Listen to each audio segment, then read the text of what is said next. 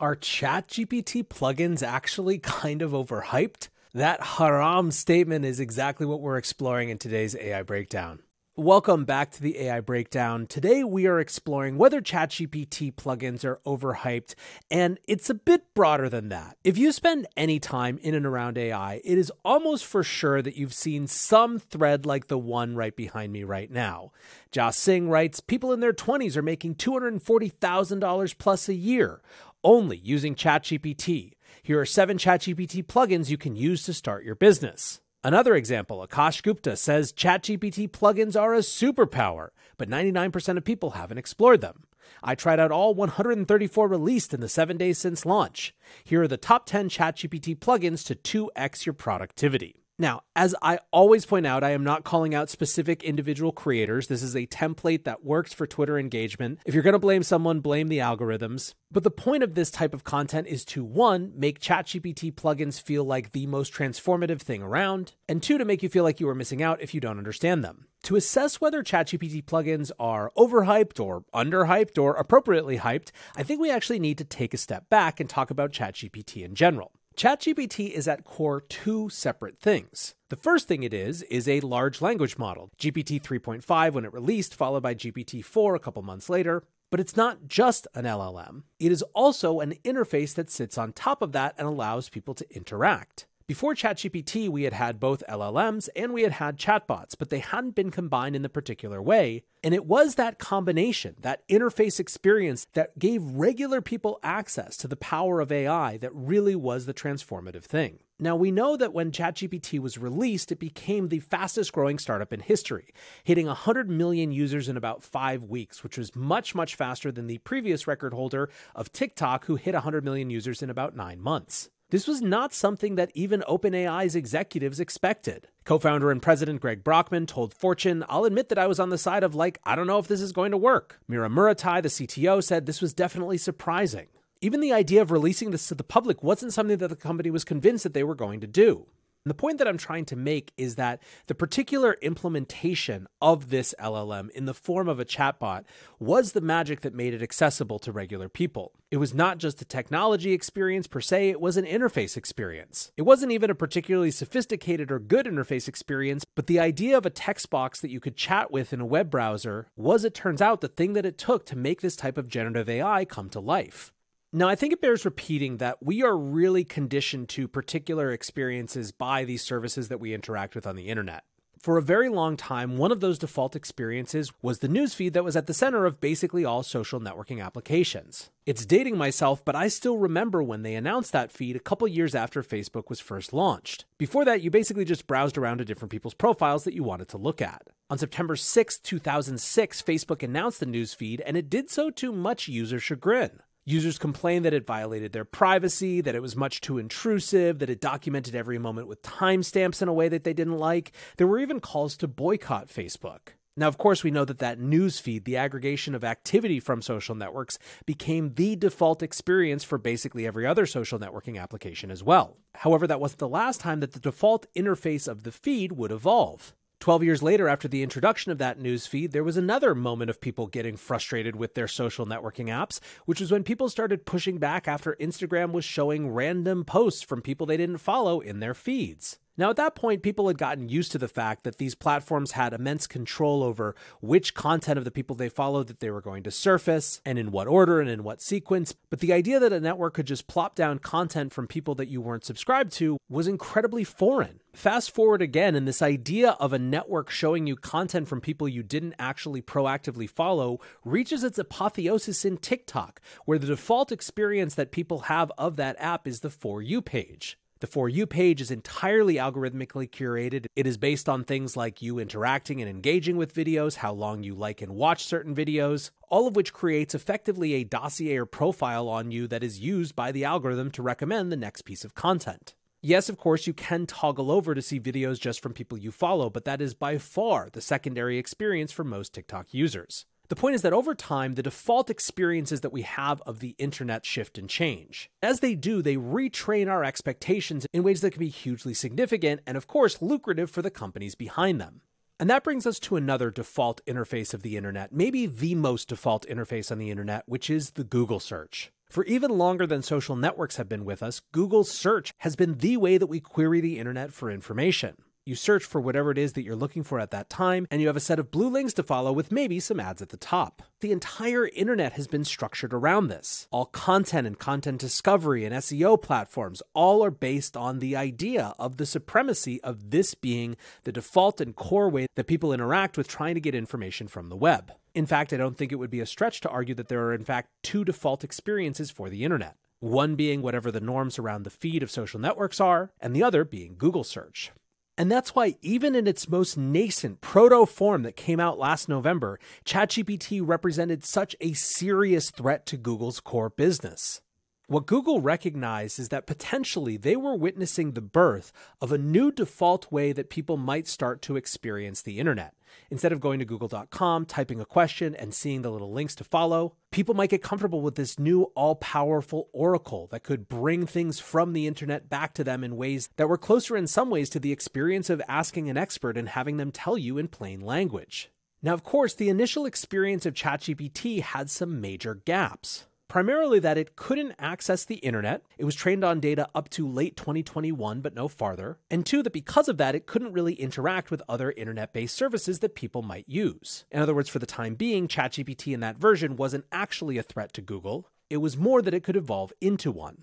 Even in its basic neutered state, people were starting to shift their behaviors from searching on Google to searching or asking ChatGPT for the same questions. Part of that was the speed with which it could bring back answers, part of that was the interface, part of that was the modality of feeling like you could ask a question in natural language and have the answer come back in natural language. But of course, ChatGPT was not going to sit still, and in the last couple weeks, we've had a number of major, major updates. One is that browse the internet features are now officially an option for how you can use ChatGPT. This was cemented last week when at Microsoft Build it was revealed that all users, not just premium users, but all users would have access to the Browse with Bing version of ChatGPT. Now, all of a sudden, people didn't need to limit their queries just to what happened before 2021, but could get up to date information as well thanks to these browse features. However, the second big update is something called plugins. Plugins effectively extend the ChatGPT experience into new realms. They allow people to access specific data sets, such as public equities data, crypto market data, academic research papers, specific PDFs, and more from that ChatGPT interface. And there is, of course, a ton of promise. Who wouldn't want all of this additional functionality embedded into this tool that was becoming such a growing and important part of so many of our lives?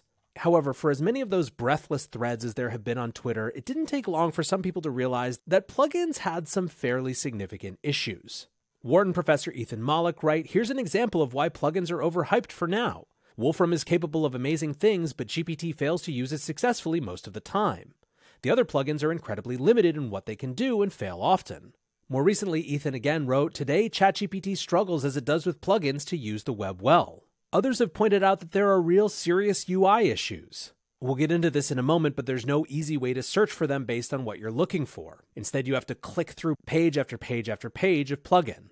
Mashable recently wrote an article called Five ChatGPT Plugins That Do What They Promise. Amongst the sea of duds, there are some good and funny plugins that work as advertised.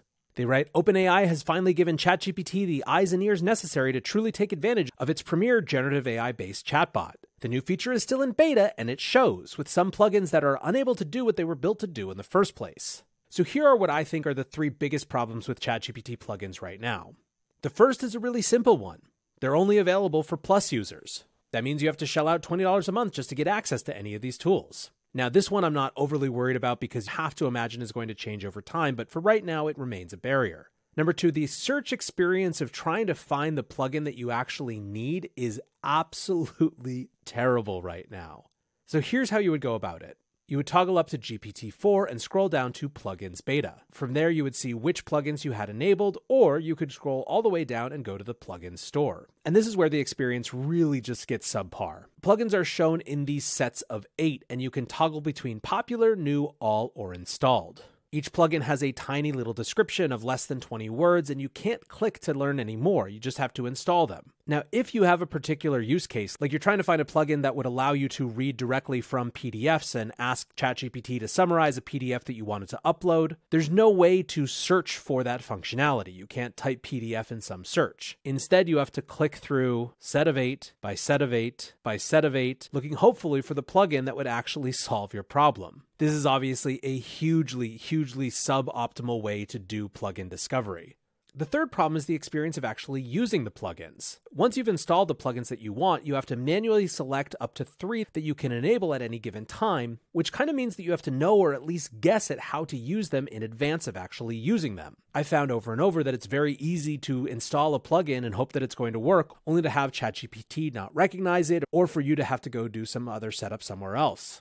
For me, however, the biggest thing comes back to this idea of interface, and it's why I took so much time on the interface to begin with. The fourth problem isn't so much a problem as it is an open question. The ChatGPT bet and what plugins enable is this idea that this sort of chat interface becomes one of the default interfaces for interacting with the internet. There are some categories of experience or query or question that that makes obvious sense to me. For example, the plugin that I found myself using the most by far is a plugin called XPapers. It allows ChatGPT to pull from and read papers that are in the arXiv.org dataset. And given how much of the frontier of AI and these related technologies lives in these research papers, giving ChatGPT the ability to read and summarize those papers directly is hugely valuable for me as a content creator.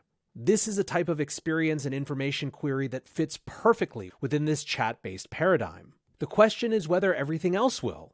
Do people, for example, as we're watching here, want to search for jobs in the ChatGPT interface? Or are they inevitably going to go to a jobs website and browse because it's hard for them to know exactly what might spark interest when they're looking in that way? Are people going to dump their shopping lists into ChatGPT and have it plug into Instacart? Or again, are they going to want to browse Instacart directly to go find things that they're looking for? Are people going to want to build apps from this type of chat based interface? Or are there other types of developer environments that are going to be better suited to it? The argument for all of those could be yes. It could be that we discover that chat based interfaces are just the default way that we interact with the internet going forward. But it would be unsurprising to me if we discover that there are ultimately certain types of experiences that fit well within this and certain types of experiences that do not. You're already seeing other startups, even in the chatbot space, even using GPT models, try to figure out different types of experiences for different types of queries. Perplexity, for example, is one that I've been absolutely loving for research use cases.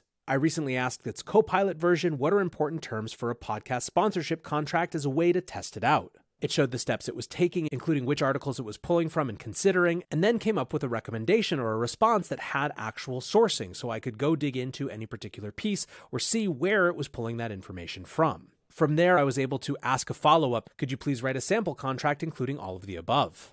Perhaps an even better example is how Google is starting to integrate generative AI into its Google search, effectively creating something that is a hybrid between the traditional Google search experience that people know and are used to with this type of chatbot experience. This was at the very center of their Google I/O conference a couple weeks ago, and people are starting to get access to what they're calling their Google Search generative experience that integrates the type of shopping features that wouldn't make sense in a ChatGPT context right now, at least as it's currently designed. And so we come back to the question of whether ChatGPT plugins are overhyped. As is so often the case, the answer is yes and no. The yes part of the overhyped answer is that there are big, blaring, glaring issues with plugins that make them far, far from their most effective. They're only for paid users, they're impossible to search for, they have very limited information to describe themselves when you do find them, you kind of have to know how to use them and query them. Some of them require you to set things up off site, such as the PDF services, and some of them just flat out don't work for the thing that you expected them to do. At the same time, others are like literal magic and absolutely extend the ChatGPT experience that has seemed so transformative into new realms and domains.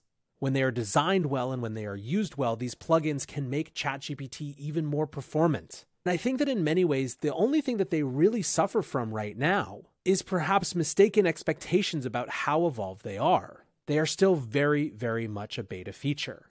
They just made the decision that it was better to let people try these things out, even if they didn't have good tools for searching for exactly the ones that they wanted. And I don't know many people who are excited about ChatGPT who would have preferred to wait. I told you about how I used XPapers, and in the next couple days, I will do another video about the ChatGPT plugins that I'm actually finding useful. But in the meantime, I'd encourage us just to first contextualize this in terms of where this feature is relative to ChatGPT's evolution, two, to understand what it might mean for the long term of interfaces on the internet, and three, to remember that ultimately hype threads are exactly that. They get engagement by convincing us that everything is wonderful and that we're missing out, not by having nuanced opinions. Anyways, guys, that is it for today's AI breakdown. Hopefully, this was interesting or useful, a little bit of internet history in there. If you're enjoying the AI breakdown, please like, subscribe, and share. Check out the newsletter version and the podcast. And until next time, peace.